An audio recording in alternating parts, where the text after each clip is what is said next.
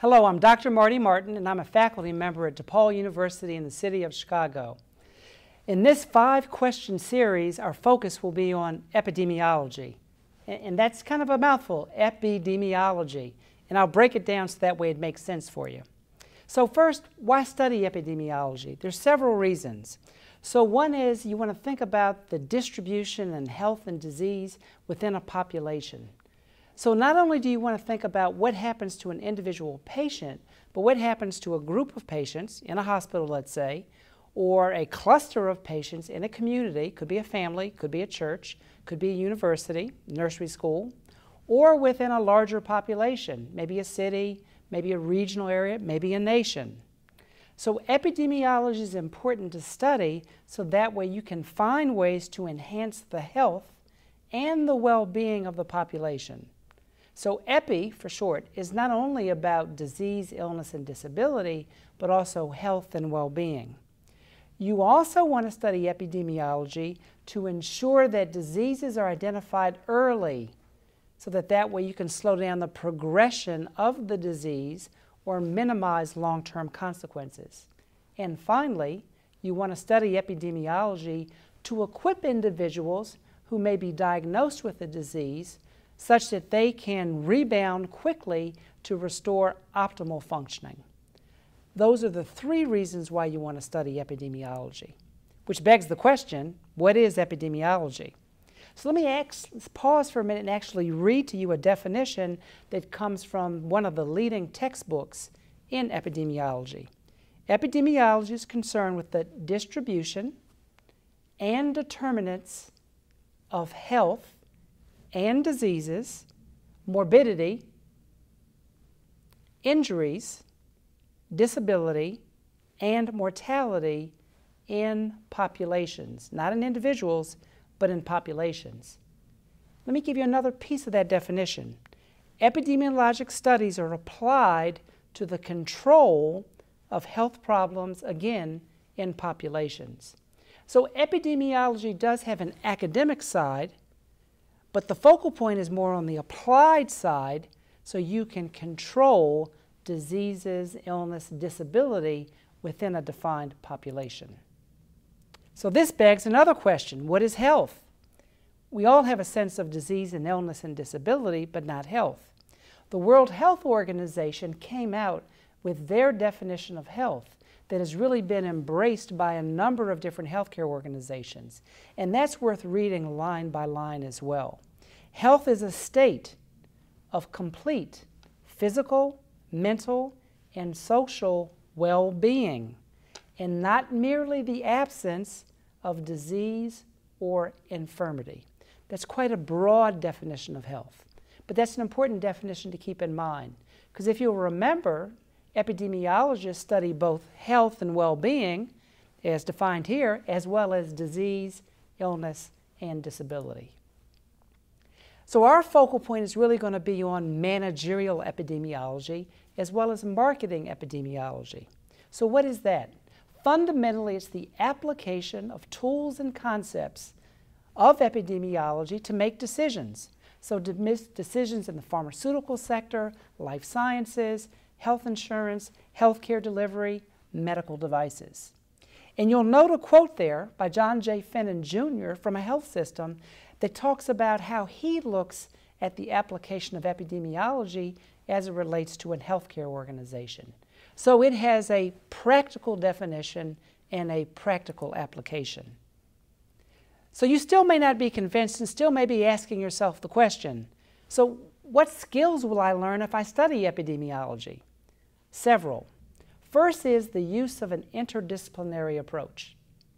So, epidemiology draws from biostatistics, operations research, traditional public health, clinical medicine, increasingly informatics, sociology, so it's interdisciplinary.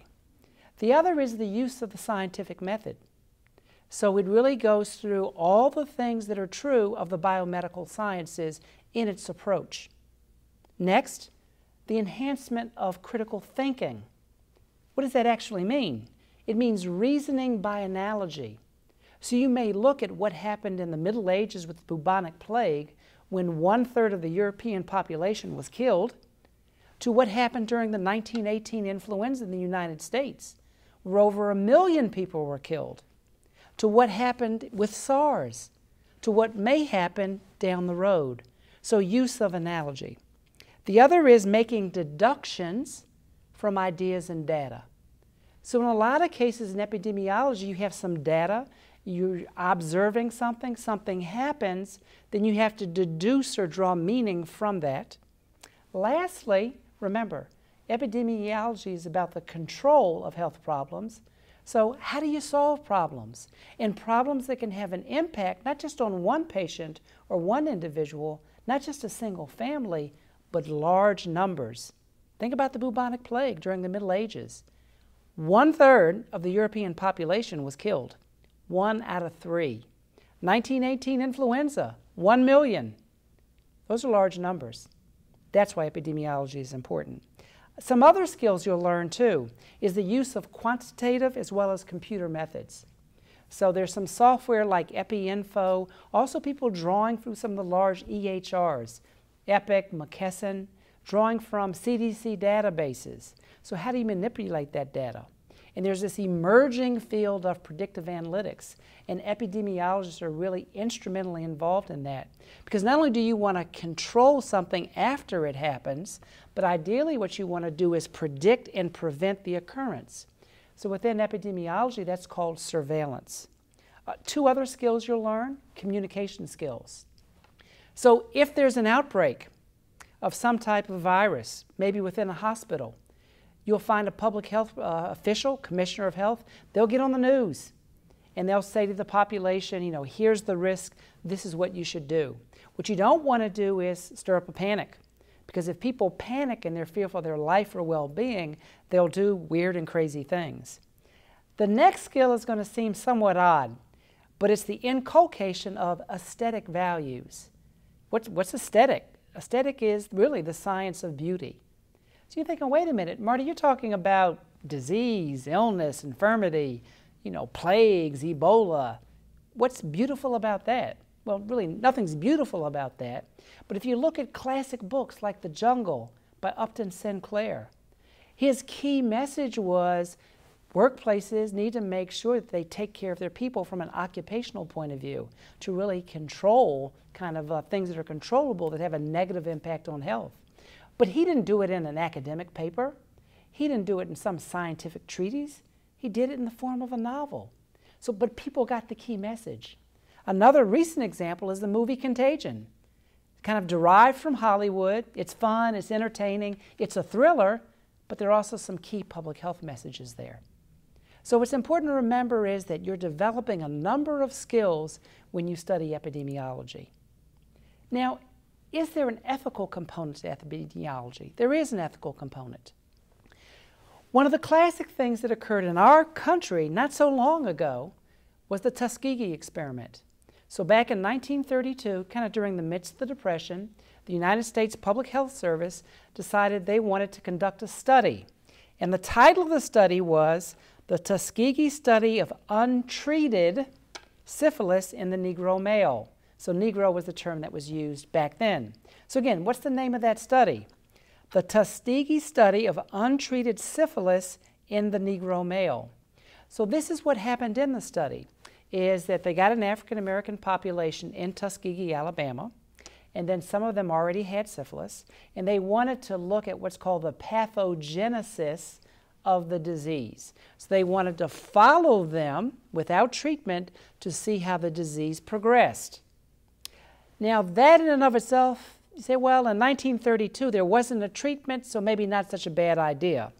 But in 1947, it became known that penicillin was efficacious, worked, in the treatment of syphilis. That's when the ethical issue arose. So in 1947, it was known that if we give these individuals penicillin, we can treat the syphilis. So what do you do? Do you give them the syphilis and mess up the study? I mean, excuse me, not the syphilis. Do you give them the penicillin and mess up the study? Or do you withhold the penicillin so that you have a nice, clean, robust study? Unfortunately, what happened is they withheld the penicillin. and then it was later discovered and found out. When was it found out? 1973. Not so long ago, 1973. The end of the story is there was a $10 million settlement. So, what arose from that, like the American College of Epidemiology and other medical, scientific, nursing, and healthcare organizations said this cannot happen anymore in the United States. So, people gathered together and they began to look at things like informed consent, institutional review boards. So if you're working for a hospital or a university, before you conduct research on humans, it has to go through human subject review or an IRB, Institutional Review Board, to make sure that these types of things don't happen in the future. So hopefully I've addressed for you why study epidemiology, what are the skills that I will acquire if I study epidemiology, and exactly what is it? So, what I challenge you to do is when you're having a conversation with a loved one, friend, or colleague, just throw out that word epidemiology, and they may look at you kind of funny, but now you know how to explain to them what epidemiology is and why they should care. Thank you very much.